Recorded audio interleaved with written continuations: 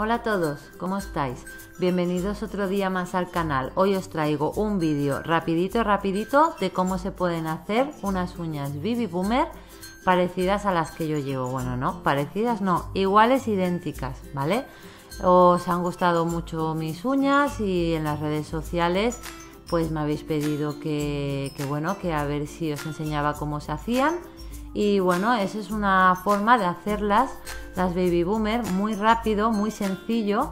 Y, bueno, y ahora os voy a explicar un poquito. Yo tengo una uña hecha, la última uña que hice con el poligel, con los dual system, ¿vale? Y ahora con un pincel de estos sponge, que es como una esponja, que si no tenéis podéis usar cualquier esponjita de estas que tenéis de maquillaje o cualquier cosa que sea de esponja, ¿vale? Pues lo único que hago es coger un esmalte, mm, podéis coger un esmalte permanente o podéis coger esmalte normal, del regular, o yo en mi caso he cogido un gel paint, ¿vale?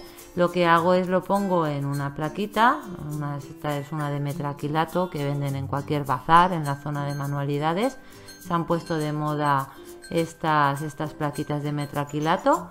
Y entonces pues bueno ponéis ahí un poquito y como estáis viendo a toquecitos pues vais poniendo por toda la punta y difuminando un poco a la, a la zona del centro de, la uña vale como veis no tiene ningún misterio. Hay muchísimas formas de hacer la baby boomer y yo considero que esta es una de las más fáciles que está al alcance de todos y aparte pues si la hacéis con, con, gel podéis ir rectificando si os equivocáis.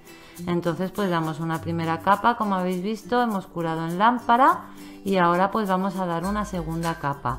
La segunda capa ya agarra un poquito mejor vale porque ya se va agarrando a la, a la capita de, de sudor que deja el propio gel vale y entonces pues nada como veis damos, vamos dando toquecitos por la zona de esponja donde no tenemos esmalte o en este caso eh, gel, pues vamos, vamos quitando un poquito el exceso. Y bueno, y como ya veis no tiene, no tiene nada, o sea, veis aquí ya voy quitando un poquito el exceso en la zona del difuminado. Y luego es según como vosotros lo queráis, si queréis más ancha la línea blanca o la queréis, la queréis más fina, tipo francesa, pero bueno, también se puede hacer de los colores que queráis. Yo la he hecho en rosita y en, y en blanca, pero podéis hacer el difuminado en el color que queráis. Y entonces, pues bueno, aquí ya habéis visto la uña, como está terminada con el gel blanco.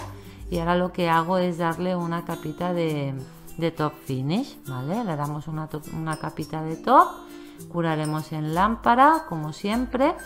Y entonces, pues luego haremos la decoración. Como os ha gustado mucho mi última manicura, pues entonces he decidido hacerla igual para que veáis qué tal queda y en una uña más larga porque yo las llevo más cortitas y bueno, en una uña más larga pues voy a hacerla pues con una plaquita de la Bon ¿vale? Hay muchos dibujitos, pero bueno, a mí me gustó mucho este porque lo veo muy fino, la verdad es que queda muy bonito y entonces en concreto pues elegí este diseño. ¿Vale? Y entonces, pues bueno, como en algunos vídeos que ya os he enseñado de estampación, yo uso en este caso el esmalte de estampar de la marca Bon Pretty en color blanco.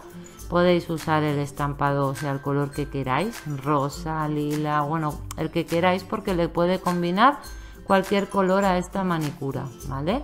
Y entonces, pues bueno, como siempre, ponemos una pequeña cantidad de, de esmalte, yo lo pongo en, la mitad del grabado solamente, no hace falta cubrirlo, porque luego cuando arrastramos con el raspador, pues ya habéis visto que se extiende.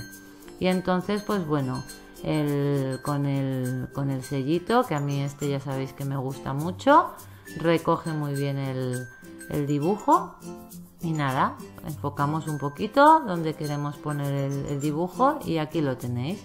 Ya habéis visto qué fácil ¿eh? o sea que no tiene, no tiene mucha complicación. El exceso de esmalte, en este caso como es una manita de práctica, sale bien, ¿vale? yo en mi caso, eh, como no me puse el peel off, el famoso látex, pues se quita con un poquito de, con un pincel y un poquito de, de quita esmalte y sale bien, ¿vale? Entonces pues nada, ahora ya terminamos el diseño con un poquito de top coat también en gel lo curaremos en lámpara en mi caso durante 30 segundos. Y nada y, ya tenemos ya tenemos el resultado. Así que bueno a todas mis suscriptoras que me han pedido este vídeo ha sido un vídeo rápido fácil que está al alcance de todos. Espero que os haya gustado. Cualquier cosa que me queráis pedir me lo decís y yo intentaré pues, pues nada, subiros el vídeo. Así que nada, si os ha gustado, pues darle al like y, nada, nos vemos en el próximo vídeo y si os ha gustado, sobre todo, compartir por las redes sociales para que lo vean también. Así que un besito. Chao.